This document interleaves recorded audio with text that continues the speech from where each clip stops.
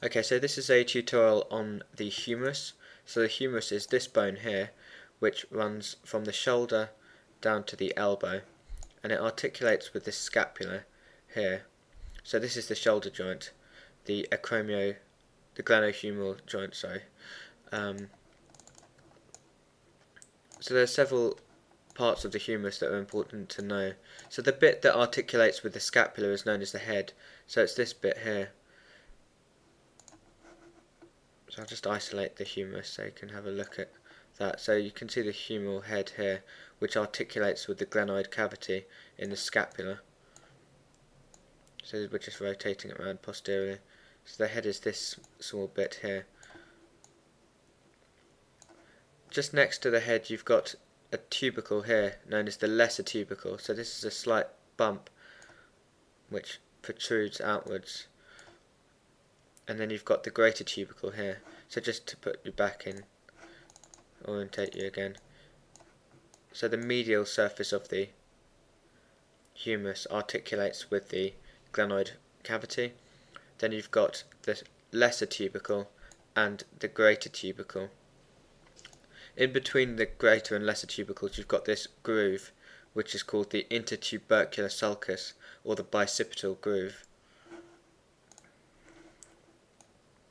So separating the humeral head from the tubercles is the um, anatomical neck. So this is the anatomical neck of the humerus. This sort of imagine this line I'm drawing here. So it runs around like this. That's known as the anatomical neck. The surgical neck is a bit lower down, just inferior to the tubercles, so the surgical neck runs around just below the tubercles. So the surgical neck is called the surgical neck because most often fractures occur at this site. Very rarely do fractures occur at the anatomical neck. So surgeons are often operating and got that name because of the frequency of fractures. So the head faces medially, you've got the lesser tubercle and then the greater tubercle with the bicipital groove or the intertubercular sulcus running between the two tubercles and you've got the surgical neck and the anatomical neck. So a few muscles, um, the, the bicipital groove, the inter intertubercular groove is important because you've got the um, tendon of the long head of the biceps which runs up through here so if I just show you on the other side, you can see how it, the tendon runs up. So this is the tendon of the long head of the biceps running up through the intertubercular groove and then it inserts onto the supraglenoid tubercle on the scapula. So the bicipital groove also is a site of attachment for three muscles. So you've got the pectoralis major, which inserts on the lateral lip of the bicipital groove. The floor of the bicipital groove is the site of attachment for the latissimus dorsi, and the medial lip is where the teres major muscle attaches. So a way of remembering that is um, the mnemonic, the lady between two majors. So lady L latissimus dorsi lies between the two majors, so pectoralis major and the teres major. So the latissimus dorsi runs in the floor of the intertubercular sulcus between the pectoralis major and the um, teres major. So the pectoralis major is this big muscle here. The latissimus dorsi is the big muscle of the back, and the teres major attaches to the um, lateral border of the scapula.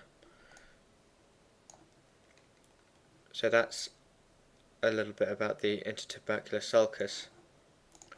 So just a little bit inferior and lateral to the um, intertubercular sulcus, you've got a tuberosity on the side of the humerus, which isn't really shown very well here, but there is a tuberosity here where the deltoid muscle attaches, so it's known as the deltoid tuberosity.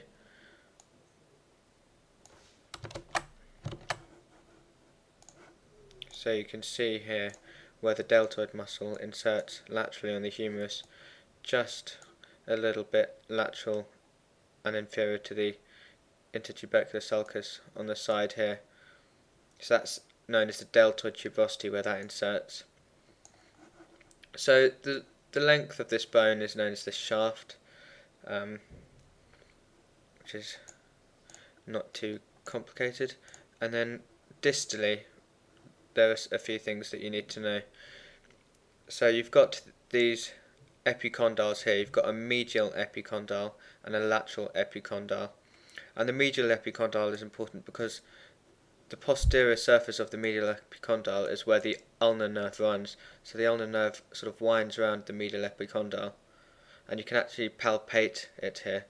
So the medial epicondyle is quite an obvious bone in itself. You can feel it quite easily.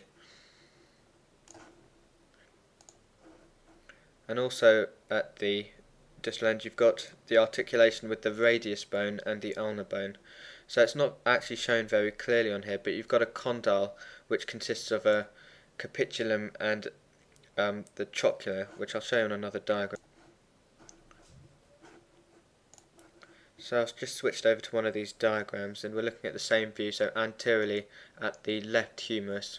So you've got the head up here medially and you've got the medial epicondyle down here and the lateral epicondyle. And this is the condyle I was talking about which is the art, um, articular part of the humerus. So the capitulum which lies laterally articulates with the radial head and the trochlea which sits medially articulates with the ulna.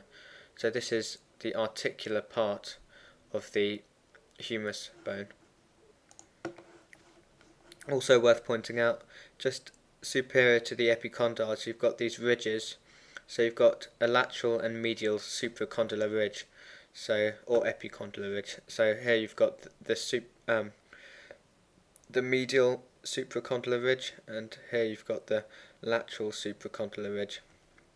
And then there's three fossa that you need to know about in the distal humerus so you've got a coronoid fossa which lies superior to the trochlear so it's a little hollowing just above the trochlear and you've got this radial fossa which lies superior to the capitulum. So I've just flicked back to the um, 3D model and then there's another fossa that you've got at the back known as the olecranon fossa.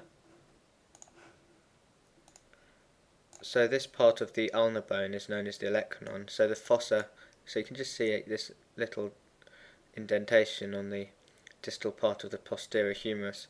So this is the olecranon fossa. So you've got three fossa. You've got the radial fossa which lies just above the capitulum.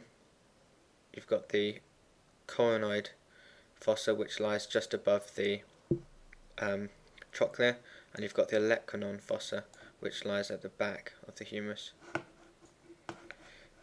So fractures that you get above the humor, uh, above the condyle are called supracondylar fractures, and they're quite common in children. So when when a child falls on their outstretched hand, you get it's quite common to get a fracture, a supracondylar fracture. So a fracture around this level here, above the condyle. And what most commonly happens is that the um, distal fragment displaces backwards. So it will fracture here and this portion, the distal fragment, will slip backwards and the proximal humerus, this proximal fragment will slip forward. And this is important to know because the brachial artery runs anterior to this bone. So you can see, I've just put in the brachial artery here, and you can see its course in front of the humerus. So you can see that if the fracture occurs here and the proximal fragment slips forward, it's in danger of um, injuring the brachial artery. So it's always important, obviously, to check neurovascular status of a patient who's had a supracondylar fracture. So check the radial pulse. So that's um, the humerus and I hope you've learnt something from that.